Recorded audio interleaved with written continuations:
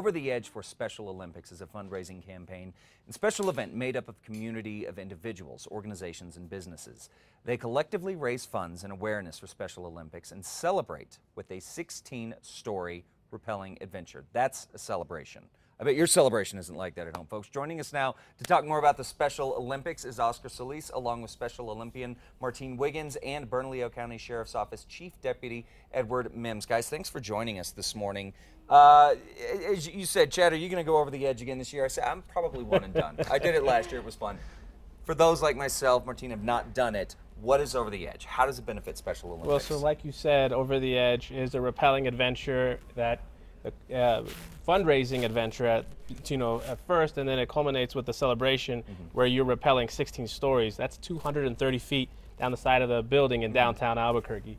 It's a unique event, n- not offered anywhere else in the state, mm-hmm. um, and so we're just excited to offer it to the community. Yeah, absolutely. All right, so let's talk about these two parts.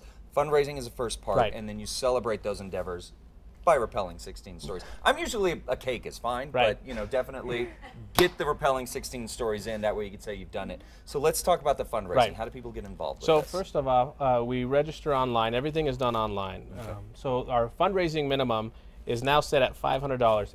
Very easy for people to reach. People mm -hmm. are finding it rappelling, or, or they're registering like crazy, mm -hmm. just because it's a lot more accessible fundraising minimum goal.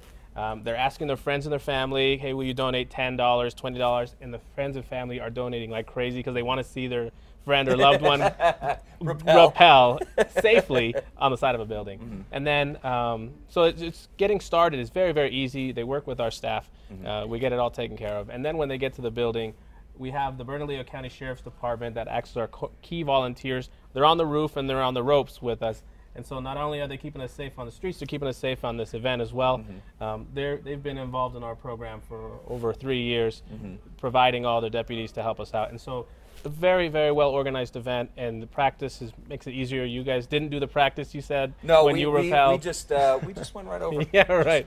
We were brave. I like to say we right. were brave. Yeah, and, and it was everything was smooth. It was smooth. Was, it was great. Honestly, right. I mean, it's it's all of course. You know, the, the, fear is all mental. You guys do a great job, Edward. I got to say, of making sure that we're Thank safe. You. Thank Your staff is really great. So, uh, aside from making sure that we're safe when we're going over, what does it mean for Bernalillo County Sheriff's Department to get involved with this? The Sheriff's Department is extremely pleased to be involved in this operation uh, over the edge event in support of uh, Special Olympics. Uh, our guys are up there. They're very happy to be there, and, and uh, they're very happy to see folks like you when they go over the edge, the expression on their faces. So. yeah, the, the terror and trembling, but really joy and elation because we're we are supporting a great cause and we're supporting great athletes like Martine. Mm -hmm. So Martine, have you, have you gone over the edge? What was yes. it like for you? I know my experience. What was your experience like? Mm, it was a little bit scary at 1st mm -hmm. but it was fun. Yeah. What was was the scariest part when we when we actually lean over the building? Yeah, was that the scariest yeah. part for you? So when we're yes. going down, was it like, ah, I got this, no big deal, as you're actually ascending or descending?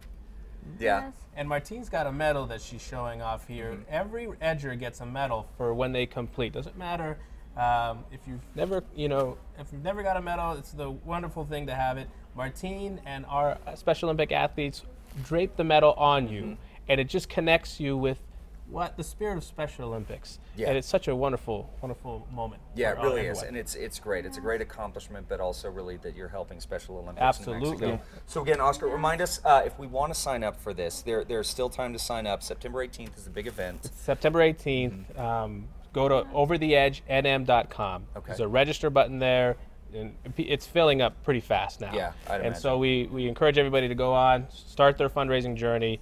Again, it takes on average five days to meet your minimum goal now. Okay. So it's plenty of time for people to register to raise their minimum goal and go beyond and support Special Olympics. Yeah, absolutely, guys. Well, for more information on how you can go over the edge, head over to kasa.com. Thanks for joining Thank us. you guys. very much. All right. Thank